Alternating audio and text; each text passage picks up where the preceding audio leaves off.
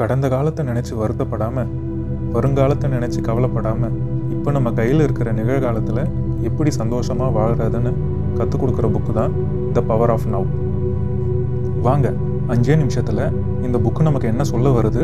இந்த புக்கில் இருந்து நம்ம கற்றுக்க வேண்டிய மூணு லெசன்ஸ் என்னன்னு பார்த்துடலாம்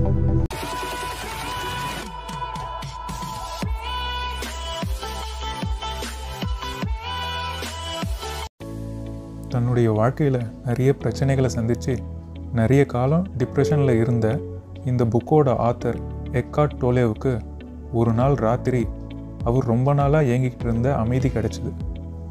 அவர் பல நாள் தூக்கம் இல்லாமல் யோசிச்சிருக்கார். நம்ம வாழ்க்கையில் நடக்கிற இந்த கஷ்டத்துக்கும் வலிக்கும் என்ன காரணம்னு. அவருக்கு புதுசாக கிடைச்ச இந்த அமைதியால் அவர் எந்தவித கவலையும் இல்லாமல் வாழ ஆரம்பித்தார் இப்படியே சில வருஷங்கள் போச்சு. இதை பார்த்த பல பேர் உங்களால் மட்டும் எப்படி இப்படி இருக்க முடியுதுன்னு கேட்க ஆரம்பித்தாங்க அதுக்கப்புறம் இந்த ஆத்தர் அவரோட எக்ஸ்பீரியன்ஸை மற்றவங்களுக்கு டீச் பண்ண ஆரம்பித்தார் நைன்டீன் நைன்டி செவனில் த பவர் ஆஃப் நவ்ங்கிற இந்த புக்கையும் எழுதினார். இந்த புக்கில் இருந்து நம்ம கற்றுக்க வேண்டிய மூணு லெசன் என்னென்னு பார்ப்போம். Lesson one life is a series of present moments நம்ம ஒரு நூறு பேர்கிட்ட போய் உங்களை ரொம்ப கஷ்டப்படுத்துகிற ரெண்டு ஃபீலிங் என்னன்னு கேட்டால் கண்டிப்பாக தொண்ணூற்றொம்பது பேர் வருத்தம் கவலை. இது ரெண்டு தான் சொல்லுவாங்க. நாம் நிறைய விஷயத்தை நினச்சி கவலைப்படவும் வருத்தப்படவும் காரணம் நம்ம மனசு வேலை செய்கிற விதம் தான். நம்ம மனசில் இருபத்தி நாலு மணி நேரமும் தொடர்ச்சியாக எண்ணங்கள் ஓடிக்கிட்டே தான் இருக்குது அந்த எண்ணங்கள் பெரும்பாலும் ரெண்டு விஷயத்தை பற்றி தான் இருக்கும். ஒன்று இறந்த காலத்தை பற்றியே தான் இருக்கும். இல்லைன்னா வருங்காலத்தை பற்றியே தான் இருக்கும். ஒரு நாள் காலையில் ஒரு பத்து நிமிஷம் நீங்கள் லேட்டாக இருந்துட்டீங்கன்னு வச்சுக்கோ. முதல்ல நீங்கள் என்ன நினைப்பீங்க? ஆடாச்சே இன்றைக்கி ரொம்ப நேரம் தூங்கிட்டோமே. அந்த அலாரத்தை கொஞ்சம் ஆஃப் பண்ணாமல் இருந்திருக்கலாம். அடுத்து ஒரு ரெண்டு நிமிஷத்துலேயே உங்கள் மனசு சொல்லும் போச்சு இன்றைக்கி எப்படியும் ஆஃபீஸுக்கு லேட்டாக தான் போக போகிறோம் நம்ம பாஸ் நம்மளை வச்சு செய்ய போகிறாரு அவ்வளோதான் காலையில் இருந்து அஞ்சே நிமிஷத்தில் அன்னைக்கு உங்கள் நாளோட மூடை சூப்பராக ஸ்பாயில் பண்ணிட்டீங்க. ஆத்தர் என்ன சொல்கிறாருன்னா நம்ம லைஃப்பில் ரொம்ப முக்கியமான டைமும் நாம் ரொம்ப அக்கறை கம்மியாக எடுத்துக்கிற டைமும் இந்த ப்ரெசண்ட்டு தான். இதுக்கு ரீசன் என்னென்னா ப்ரெசண்ட்டில் தான் எல்லாமே நடக்குது. நம்ம பார்க்குறது ஃபீல் பண்ணுறது எல்லாமே இந்த ப்ரெசண்ட்டில் தான். பாஸ்ட்டுங்கிறது நம்மக்கிட்ட இருந்து முடிஞ்சு போன ப்ரெசண்ட்டு தான். ஃப்யூச்சரும் நமக்காக வெயிட் பண்ணிகிட்ருக்கிற ப்ரெசண்ட்டு தான். நல்லா யோசித்து பார்த்தீங்கன்னா பாஸ்ட்டும் ஃப்யூச்சரும் அப்படி ஒன்றும் கிடையவே கிடையாது. நம்ம லைஃப்பில் இருக்கிற எல்லாமே ப்ரெசண்ட்டு மட்டும்தான் அப்படி பார்த்தீங்கன்னா ப்ரெசண்ட்டை தவிர வேறு எந்த ஒரு மொமெண்ட்லேயும் நம்ம வாழ்கிறதுல அர்த்தமே இல்லை. ஒரு உதாரணத்துக்கு இன்னும் ஒரு பத்து நாளில் உங்களுக்கு ஒரு எக்ஸாம் இருக்குன்னு வச்சுக்கோங்க மூணு நாள் நீங்கள் ஜாலியாக விளையாடிட்டீங்க. இப்போது நாலாவது நாள் வந்து நம்ம அந்த மூணு நாளையும் வேஸ்ட் பண்ணிட்டோமேன்னு நினச்சி வருத்தப்பட்டுட்டு இருந்தால் ஒன்றும் நடக்காது. இன்னும் நமக்கு ஏழு நாள் தானே இருக்குது அதுக்குள்ளே நம்ம எப்படி படிக்கணும்னு நினச்சாலும் ஒன்றும் நடக்காது. இப்போ இருக்கிற அந்த செகண்டில் உட்காந்து படிச்சிங்கன்னா தான் எக்ஸாமை நல்லபடியாக எழுத முடியும்.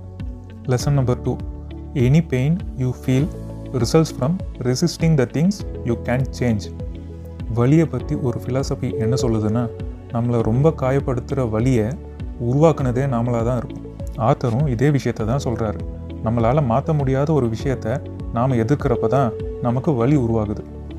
நம்மளால் பாஸ்டில் நடந்த ஒரு விஷயத்தையும் மாற்ற முடியாது. ஃப்யூச்சரில் நடக்க போகிற ஒரு விஷயத்தையும் மாற்ற முடியாது.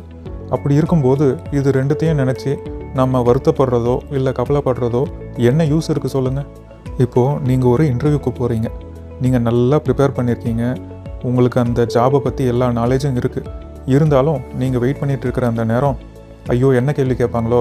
ஒருவேளை நமக்கு கே தெரியாத கேள்வியை கேட்டுட்டால் என்ன பண்ணுறது அப்படின்னு நினச்சி கவலைப்பட்டுட்டே இருந்தீங்கன்னா கண்டிப்பாக உங்களால் அந்த இன்டர்வியூவில் நல்லா பர்ஃபார்ம் பண்ண முடியாது. ஒரு ஆங்ஸைட்டியில் கேள்விக்கு தப்பு தப்பாக பதில் சொல்லி ஒரு வேளை உங்களுக்கு அந்த வேலை கிடைக்காம போச்சுன்னா அந்த இன்டர்வியூ முடிஞ்சிட்டு வந்ததுக்கப்புறம் ஐயையோ இப்படி சொல்லியிருக்கலாமே இன்னும் கொஞ்சம் நல்லா பெர்ஃபார்ம் பண்ணியிருக்கலாமேன்னு உங்கள் மேலேயே உங்களுக்கு ஒரு கோபம் வரும்.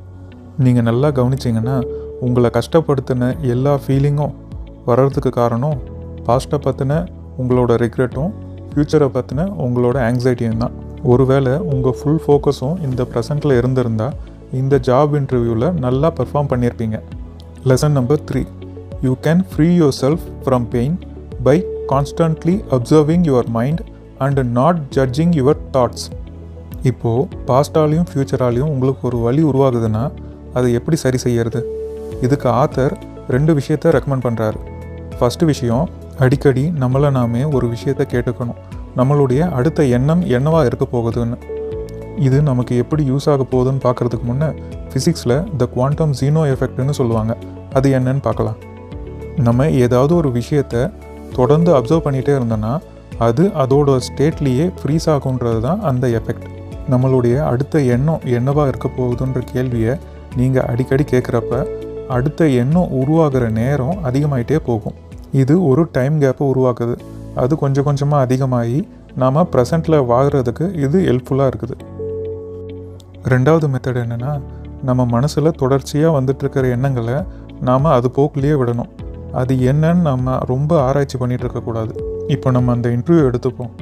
இன்டர்வியூ ஒழுங்காக நடக்காததுக்கப்புறம் நீ இன்னும் அதில் நல்லா பண்ணியிருக்கலாம் நல்லா பண்ணியிருக்கலான்ற எண்ணம் உங்களுக்குள்ளே அடிக்கடி வரும்.